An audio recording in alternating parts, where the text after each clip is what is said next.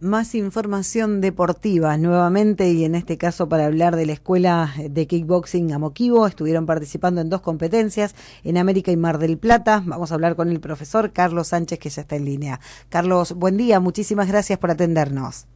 Buen día Andrea, buen día, gracias a ustedes por, por acompañarnos siempre.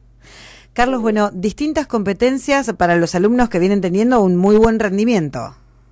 Sí, bueno, venimos trabajando este año, seguimos creciendo, trabajando firme, eh, con nuevos competidores, eh, con competidores que están haciendo más experiencia y subiendo de niveles. Así que bueno, sí, estuvimos primero en la ciudad de Mar del Plata eh, con Axel Nicola, también David Ortiz y Ezequiel Ibáñez. quienes hicieron muy buenos papeles, muy buenas peleas, peleas duras de alto nivel, y bueno, y este fin de semana eh, estuvimos en América, donde concurrí con un plantel de juveniles, eh, debutantes y ya chicos con experiencia.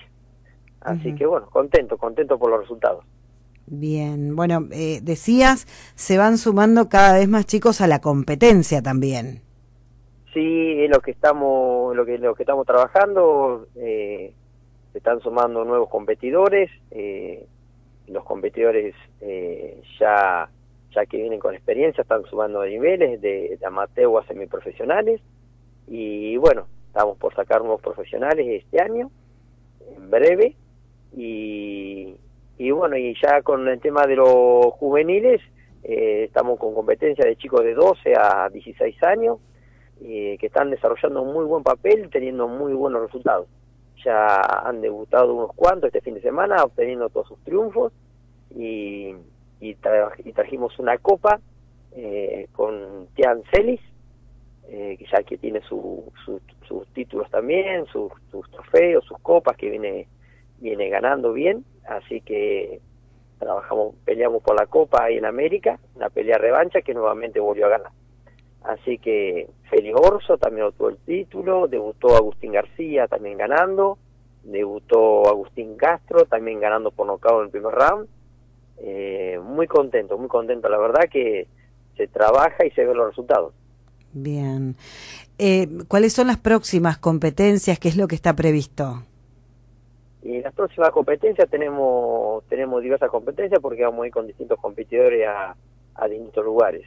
Eh, tenemos en Trenquelauquen ahora en agosto, eh, tenemos en Buenos Aires, en Flores, tenemos en, Junín, tenemos en Lincoln, donde vamos a hacer debutar chicos nuevos también y van a ir eh, los, principiantes.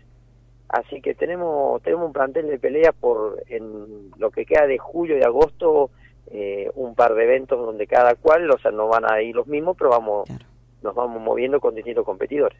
Bien, dándole la oportunidad que cada uno pelee en su lugar. Está bien. Carlos, eh, ¿se está pensando en organizar algún evento a nivel local? Sí, sí, eh, el evento a nivel local ya lo estamos proyectando para noviembre, así que bueno, va a ser un, tenemos planificado un show grande, así que eh, espero poder alcanzarlo, como todos los años. Carlos, las felicitaciones para todo el equipo de Amoquivo, el agradecimiento de siempre por atendernos. No, gracias a ustedes, Andrea, gracias a ustedes y de esta manera podemos comunicarle a, a los pegojenses cómo están las actividades de, de kickboxing y, y la, más que nada la actividad de los chicos, lo, de lo que entrenan, lo que se preparan y, y estar al tanto de, de sus resultados y de sus movimientos, que es lo importante, los chicos. Muchísimas gracias como siempre, que tengas buen día. Gracias a usted, Andrea. Hasta luego. Bueno, Carlos Sánchez, el responsable de la escuela Amoquivo, distintos escenarios, varios competidores, chicos que debutan y que tienen un excelente papel arriba del ring, bueno, y ya todo lo que se viene con una carpeta, una agenda súper completa de actividad.